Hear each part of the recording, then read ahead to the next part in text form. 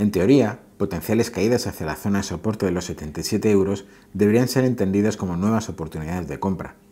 Desde el punto de vista del análisis técnico, lo realmente interesante es que Acciona, más rezagado que el conjunto del mercado, fue capaz hace aproximadamente un mes de dejar atrás el movimiento lateral por el que se venía desplazando en los últimos dos años. Normalmente cuando se rompe al alza un largo movimiento lateral, como el de este título, acostumbra a traer consigo importantes revalorizaciones. De hecho, se puede decir que el título no presenta resistencias importantes hasta la que sería la parte superior del canal alcista, ahora las inmediaciones de los 94 euros.